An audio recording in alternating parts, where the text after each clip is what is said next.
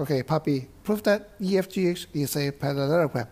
And it is quite obvious that we need to prove another pair of congruent triangle in order to show that EFGH is a parallelogram.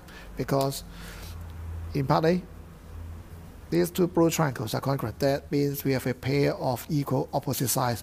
So if we have to, if we can prove that the other pair of opposite sides they are also equal, then this will be a parallelogram. But again, we need to prove that these two triangles Uh, are congruent. So in order to save time, I've written down the step ED equals to BG. They are given equal to each other. Angle B, angle D, they are equal because of the properties of parallelogram. CD equals AB, properties of parallelogram. And then we do the subtraction. Subtract this part by HC, you get DH. AB subtract AF, you get FB. And therefore, triangle EDH congruent to GBF. And the reason is SAS, again SAS.